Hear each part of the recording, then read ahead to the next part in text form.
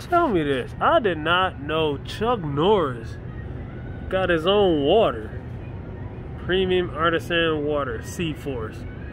Naturally alkaline, 768. That's pretty good right there. 7.6, 8.4. Chuck Norris. Making that break. You got little bottles, big bottles. Get the big bottles. Stay hydrated. Comment, like, subscribe, share, holler back at your boy. Peace.